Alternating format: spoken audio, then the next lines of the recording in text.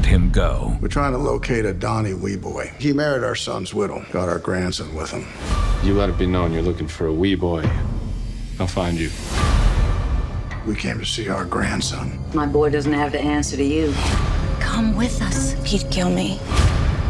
You're with me on this, right? I'm right behind you. Don't start what you can't finish. Let him go.